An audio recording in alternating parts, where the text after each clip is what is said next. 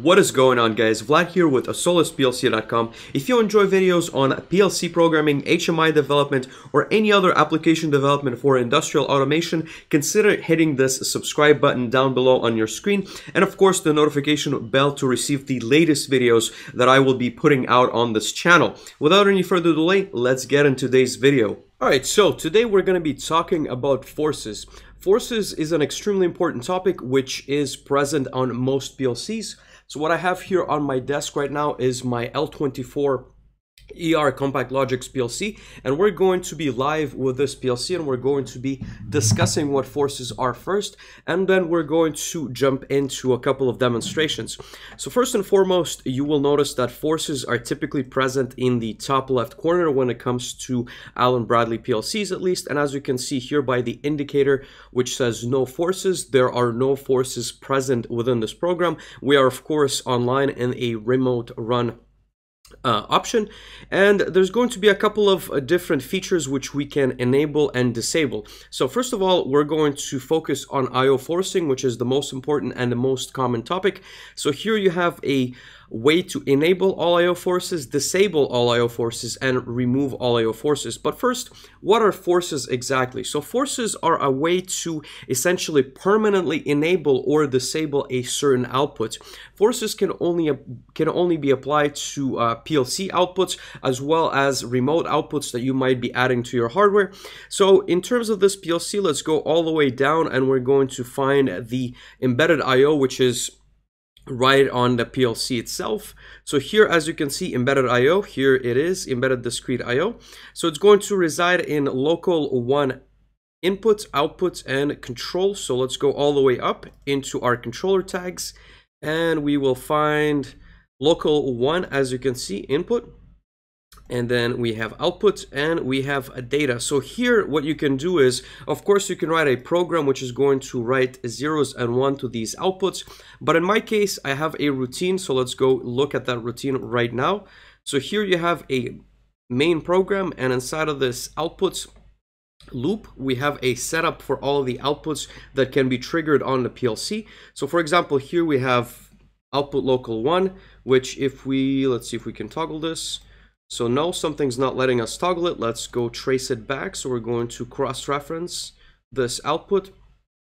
And if I remember correctly, it is set up in the for loop. So within the for loop, uh, what I'm doing is I have a lot of logic which allows me to toggle outputs through a very, uh, very interesting uh, routine. So what we need to go do here is, let's see here. So we're going to monitor this and we're going to see if we can toggle these outputs.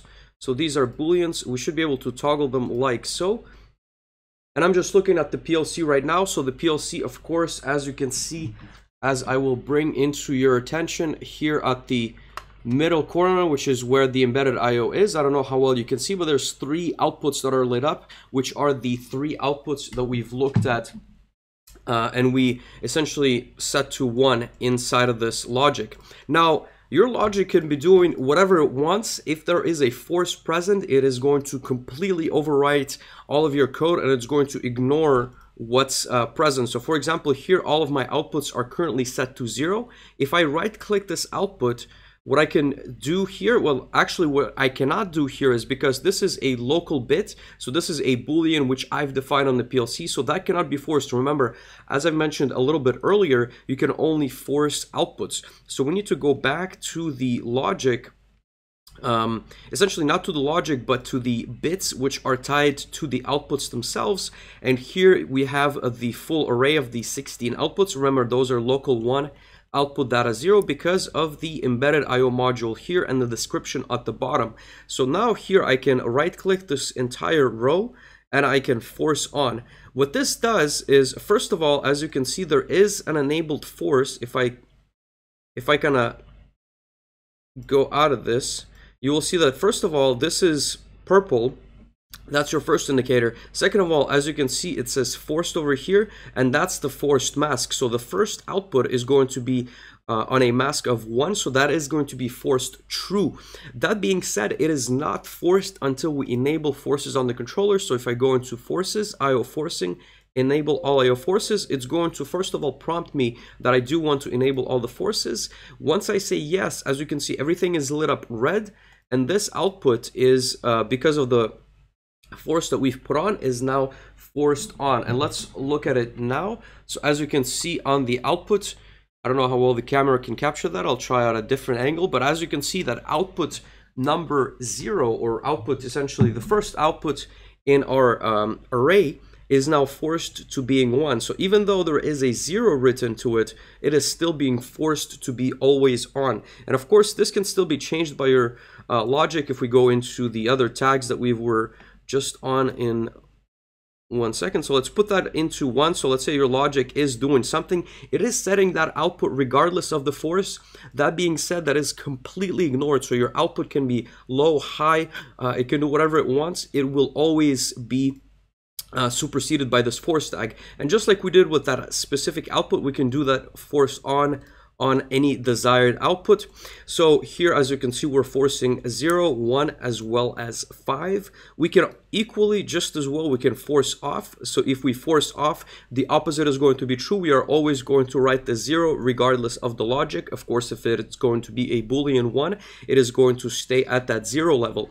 So forces are essentially a tool which allow you to force the outputs, so to speak, or essentially write a permanent value to that specific output. And the question that you might be asking or wondering is, why would you need forces? Now, from experience, what I've seen is that this is usually a maintenance slash engineering type of feature. And what happens in the field is, for example, you have a night maintenance uh, shift electrician or technician that comes in and um, what happens is let's say for example a certain motor which needs to not be running for whatever reason it is permanently running and it is causing a lot of problems or vice versa it is not running like for example let's say a stir in a tank. I've seen this where the motor would um, intermittently turn on, turn off inside of the logic, and somebody who doesn't have the, uh, maybe not the capability, but just not the time to uh, figure out what's going on, they can simply force that output, which goes back to the contactor of that motor, and they've essentially not solved the problem necessarily, but they've allowed the plant or the manufacturing facility to continue producing product.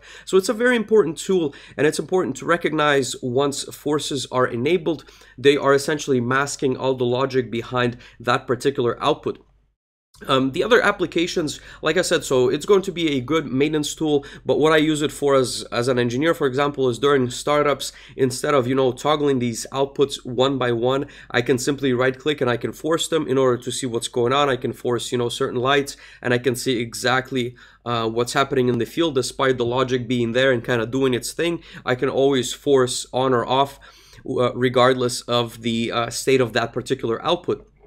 Um, last but not least, I want to kind of warn you about using forces. So forces are not designed to be used all over the place. The goal of forces, like I said, it is a maintenance and engineering tool, but it should not remain in place once you are done with the PLC program. The best way to figure out where forces are at, so here uh, I believe there's a way, so you can definitely disable all of the forces, but that's not the way uh, to do this. If you do find forces on your controller, I would not recommend just uh, just essentially